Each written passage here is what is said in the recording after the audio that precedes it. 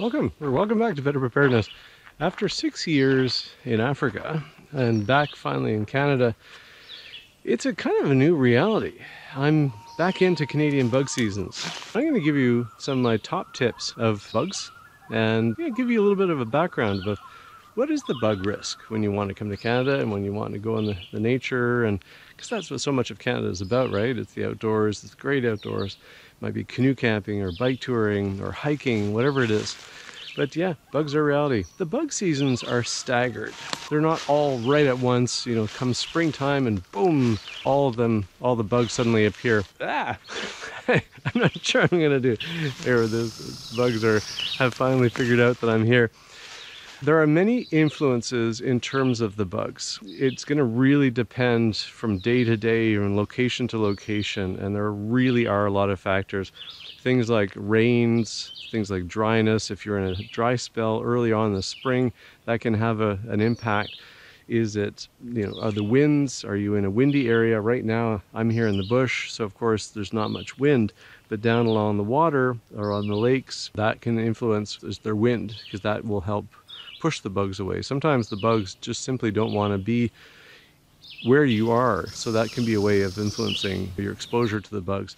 Heat versus cool, well, different bugs like different conditions. Some like warmer conditions, some will pretty much hide away in the in the cool if it gets really cold. So sometimes you kind of accept less than ideal conditions so that you have well fewer bugs and things like is it sunny? Is it cloudy? Is it nighttime? Again all these factors really influence. And those windows where it gets really bad can suddenly change to really good. It depends on suddenly it gets hot or suddenly it's sunny or whatever it is and suddenly the bugs disappear. Like right now to be honest the bugs should be absolutely eating me alive but it's actually not too bad.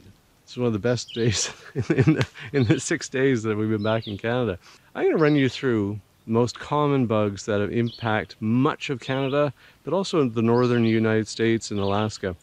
And again, each bug seasons will depend on where you are and also depends where your latitude. So right now I'm in eastern Ontario, but if you are far up north uh, in Canada or Alaska, again, the bug seasons are going to be different because the start of spring, that's what sets off kind of the, the hatching process for a lot of these bugs. So it's going to really depend where you are in Canada.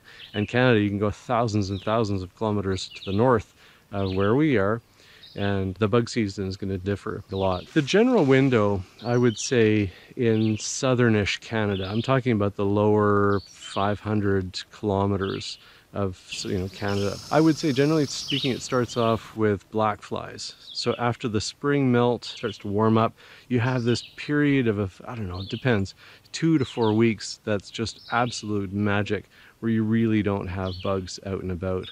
And that's when you like go do your camping. Yes, the water temperatures are cold if you want to swim or you know, it might be cold rains if you end up with that. Sorry, trying to swat some of these bugs away.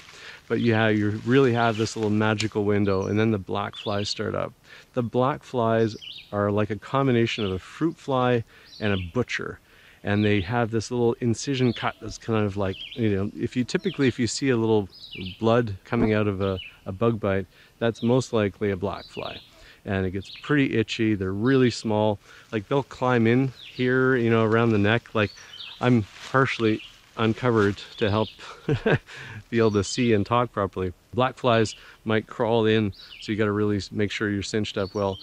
So that typically, where I am here in Canada, is from about mm, mid-late May till mid-June-ish type of thing. By about the start of June, you get mosquito season, or it depends. It really depends again from year to year when things start up. The mosquitoes then start a few weeks after the black flies. And again, the mosquitoes are like the surgeons. They prick and you, there's really no trace other than eventually you get a swelling and it gets itchy. They're just omnipresent. And the mosquito season is pretty long. The window can be about six-ish weeks. And yeah, so that might go from, again, a couple weeks after the start of black fly season, but then it'll go for maybe a month longer, you know, so well into July. You also get, then get deer fly and horse fly. They look a bit like a, uh, an oversized housefly. And what I find is that they, in particular, love when my I'm out running, if I go out for a run in the bush or if we're out swimming, they love when that skin is nice and soft because they kind of take a bit of a biting action out of you. But they'll they'll search for you as you're swimming and you know you dive down try to swim and relocate and come back up and they'll find you again so the black uh, horseflies deer flies that season again is kind of late june into much of july and a bit of august then there are no-see-ums. No-see-ums are super small. These are like biting midges. There's a reason why on a tent you have a net that's super, super fine. That's often called, uh, you know, no no-see-um screens because uh, you barely see them and yeah, they, they like to nibble away. The ticks, ticks have, you know, they've been around since the beginning of time, but ticks have become more and more a reality.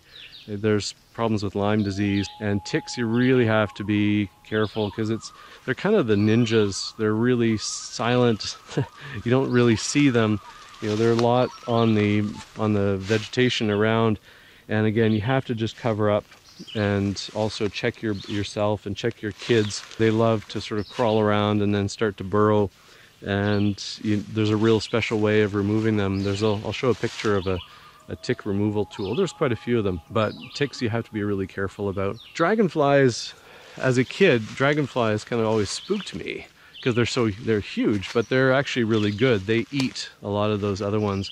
Although I find they tend to stay a bit more where it's sunny. So here in the bush, you don't see any dragonflies right now, but out in the clearing, you will see the dragonflies. So the problem is you're in the bush and this is not where the dragonflies are eating, but they do eat a lot of uh, flying bugs. So they are very much your friend.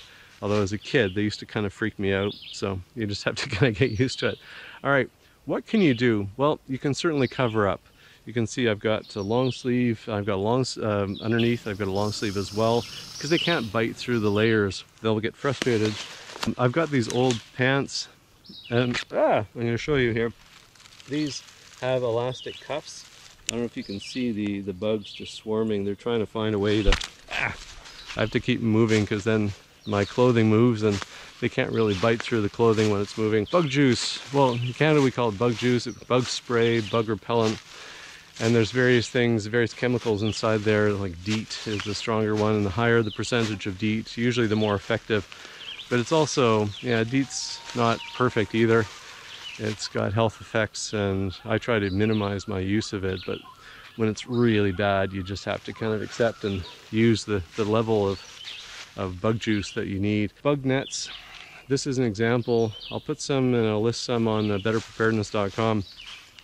Something like this is really useful. You can get these at the dollar store and always have a whole bunch of these because they're so compact, especially once you take it out of the package and you just put it over your head because it's easy to cover up your body. It's easier to cover up your arms and you know wear layers and stuff but it's kind of hard to cover up your face.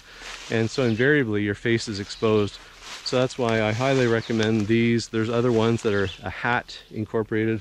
Then you get the bug jackets which is essentially a piece of clothing with a lot of screen but you still need to separate whatever the screen is close to you or the bug jacket you still need a hat underneath because they can't then bite through all those layers. August and September are really like the magic time. Really the magic time when you can go camping, you can go canoe camping, all these things in the wilderness where the weather is good, but finally the bugs, most of the bugs have died down.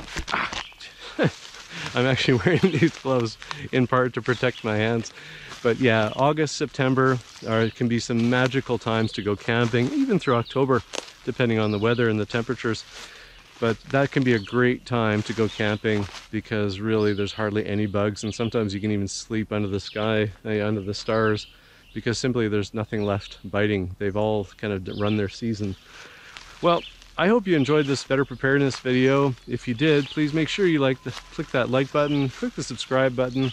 I'm going to be doing a fair bit of Canadian content now that I'm back in Canada, but I've got a ton of my South African and general African content that I filmed. I just haven't had a chance to release and everything. So check out betterpreparedness.com. Thanks for watching Better Preparedness. Stay bug safe. Just, you know, just be mindful.